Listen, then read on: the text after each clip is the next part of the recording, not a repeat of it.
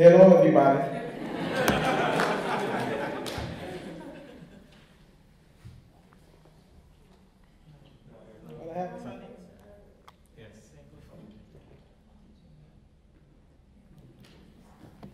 Hello, everybody. First of all, let me dedicate this presentation for 13 of my friends in prison in Mauritania for nothing but their fight against slavery in Mauritania. Today, I'm here to talk to you about slavery in Mauritania.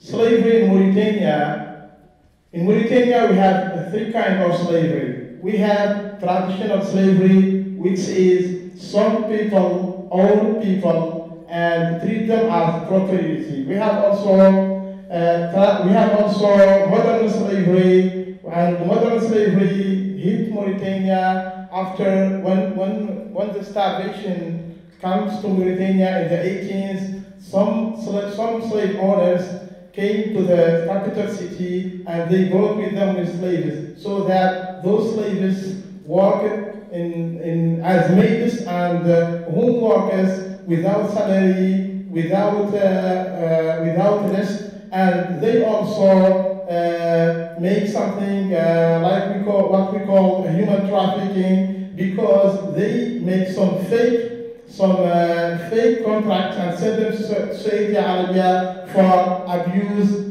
and uh, something like that. We have also agrarian slavery, which is uh, which means the former slaves, the former slaves, uh, the majority of them works in the farms as as a, as a farmer, and uh, they work in the land, but the, the but their former their former masters if uh, one of the slaves wants to take a decision against him, he can easily come to him and kick him out from that land.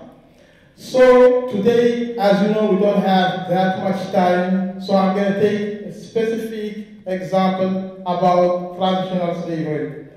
I'm going to talk to you, uh, as you can see on the pictures, this is cases of slavery, had been, those slaves have been released or had been uh, freed by our NGO, and this lady in our right side, her name is Barka. Barka is a young lady, she found herself enslaved by a family, and that family inherited her by her, her mother, because her mother were their slave. And when she died, she she she became she became a slave because her mother was slave.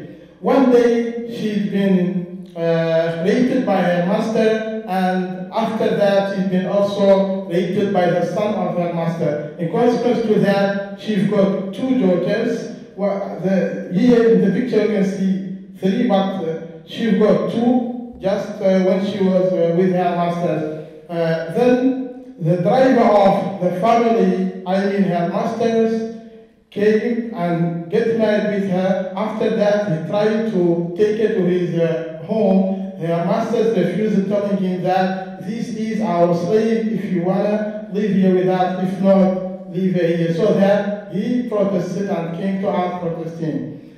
In this kind of cases, uh, or in addition to that, we are, in addition to this kind of cases, are uh, in order to end slavery in our country, especially this kind of uh, titles you see, we've created initiative for the citizens of the movement abolitionists in Mauritania. And we have uh, the intervention that we make in order to end slavery is peaceful demonstration, as you can see in the pictures. I am in the, one of the pictures leading demonstrations, and we make some advocate and uh, adopt the slaves, and also try to make some projects in order to empower the slaves, especially women. As you can see in that picture, these uh, slave ladies now doing sewing uh, as uh, this is a sewing project provided by us in order to empower these kind of women. We also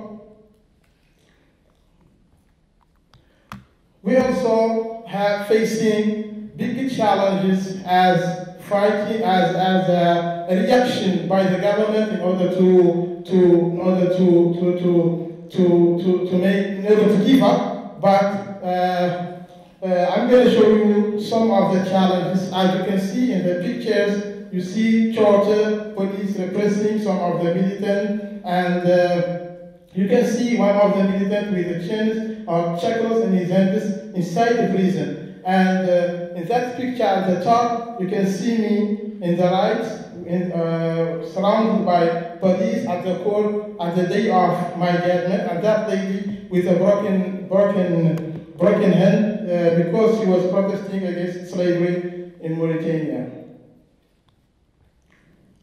And also we are facing, this is about the lady that I was talking about. When we freed her and she came to us, the government did nothing for her and she became jobless, homeless. She lives in the shanty town, as you can see in those pictures. She lives in those kind of cottages without job, without anything, because the government want to, to tell the slaves that whether to accept slavery or you will become jobless, homeless, without anything.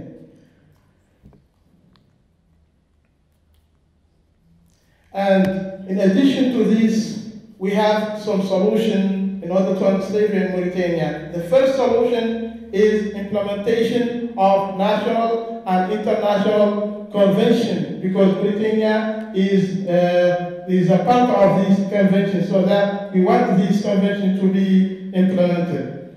We also want the slaves to be compensated because the slaves they have nothing. They have lost all their time under the help of slavery. You want also an education. You want slaves to be educated because if someone becomes well educated, they will not accept to be a slave. We want also economic empowerment, especially for women, because in our country they say that the woman is the source of slavery, so that we have to concentrate and we have to teach the women first of all, because when we teach the women, we will overcome slavery. We want also the slaves to be engaged, to be engaged in the decision-making policies and the process in order to feel that they are citizens. And uh, the last is to reconstruct the, the constitution in Mauritania. And let me end with this quotation from Nelson Mandela. The purpose of freedom is to create it for others. Thank you.